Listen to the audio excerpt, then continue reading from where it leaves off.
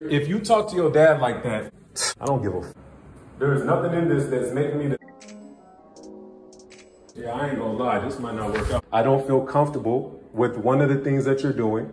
Instead of me just telling you that respectfully, you say, "Oh my God," like I'm like I'm the one that's saying too much. I don't give a. F- if you're if you talk to your dad like that, so okay. Let me say this, because I don't need people to see naked and all that, but I'm gonna tell you like this.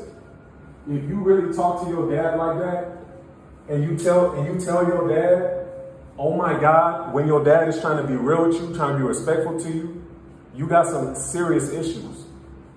You do not say, oh my God, in my house. You do not do that. You learn some respect. I'm not picking favorites, but I've talked to you privately already about this situation. You know one of the situations, and I talked to you privately multiple times about it. And if you continue to disobey me, this is not going to work out at all. It is not going to work out at all.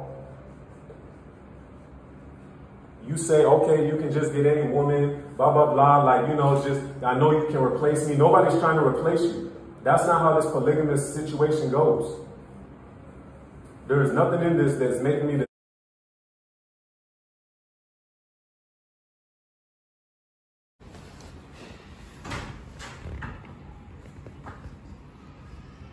charger. Oh you tell me supposed Okay. Where's Shorty charger at? Um, the other room, maybe. Hmm. So she came back after she packed her bags and left. Interesting. Okay. Guys, man, oh man, we do this for real, y'all. I can't, I can't even.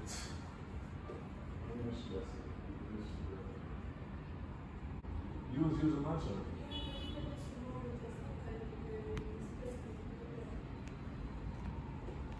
Okay. Yeah.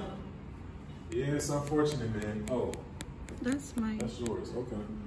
Hmm. Nobody even asked Shorty to go until she started being too disrespectful. That's crazy.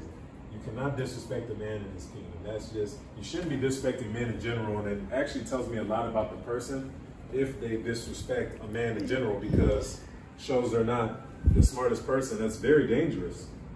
You know, you can actually get hurt. Not saying that I would do anything, but you know, when you talk like a man, you overtalk a man, you, you want to argue with a man. That's just crazy, bro. We cannot have things like that in a in a union like this, man. We're trying to build. We need positive, uh, great people around. You know, we can't have people that are behind the scenes being disrespectful. We can't have people behind the scenes that don't know how to be, you know, respectful and kind, feminine.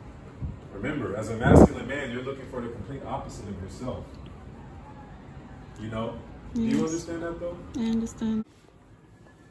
This girl did not leave her charger. Like I do not see it. I don't see her charger nowhere. And really, I shouldn't even be giving it back to her. But I'm such a good guy that, you know, she did slam the door on me. Not on me, but she literally slammed the door to her, our home. Like, bruh, look at that manly energy. We do not want women like that. That is just so nasty to me. Such a ugh, you know. And people, you know, the issue too is some people they want to be so forgiving all the time, and oh well, you know, it was her first her first mess up and stuff. Yeah, that you guys know. No, no. A lot of times off camera, certain things, you know, as comfortable as you try to make somebody feel. Me doing this for years now, knowing the psychology of females when it comes to this type of stuff, like, bruh, no. Like, it's not like it's just a one-time thing, like, you know, and I just said, oh, okay, boom, you're out of here. I don't give up on people like that. I was in an orphanage. My parents gave up on me in a way, if we're gonna be honest. You know?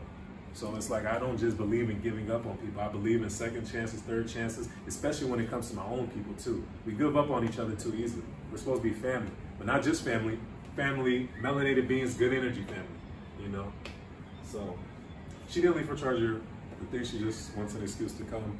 You know, and unfortunately, sometimes you have to stand on ground unless the person can do something for forgiveness, a lot of you guys just be wanting some head. That's goofy. To be real, real forgiveness comes from the soul. A woman that truly is apologetic, she will make a sacrifice of extreme or greater value than you know that the than the situation. So, for instance, in this situation, over talking me, uh, getting very aggressive and um, slamming the door. I mean, dude, and it's actually not the first time actually. So you know, it's like, bruh, like, nah, nah, nah, nah. You're the payment for this slip up. Of course, kiss on the king's finger on the ring. Um, of course, but also for banging the castle door, for all the other mishaps. Payment will have to be in the term of finance, money, financial gain, something that I can actually benefit from. Um, it will have to be uh, yeah, not much you can do, man, when you when you get so disrespectful, bro. Not much you can do. Oh man, rocking the hard place. You're a respectful human that respects other humans. You get on your knees to show, you know, respect. That's how it works. So yes, getting on your knees, but it would need to come with something else. Nice home cooked meal. Yes. Um, a great massage, maybe in the span of even three hours. These are things that I like.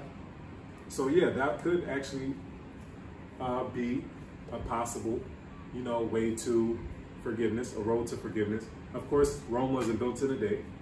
You don't just get, you know, forgave just that easy. You must keep up the same good tendencies that you had when you first came along. But, you know, yeah, man. It's unfortunate because the, the thing is, you don't want to just, you know, stop talking to somebody, giving up on somebody. But, bro, like, you know, certain things have to give, man. Certain things have to give.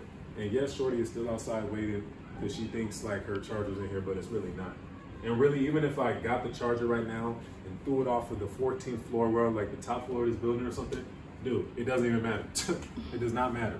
Like, you slammed my door. You slammed my door. For what? Because of what you did. It's not something I started, it's something that you started.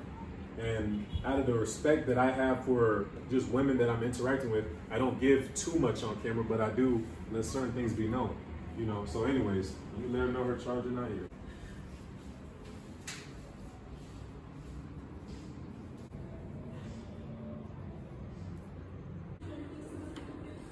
Shorty, tell me something though, tell me something. It's interesting when somebody disrespects you and then after they're looking for help. You can't disrespect somebody and then look for help after. That's not how this works. You do know that, right? Okay. You cannot just lie, be deceitful, disrespectful, and just expect me to help you.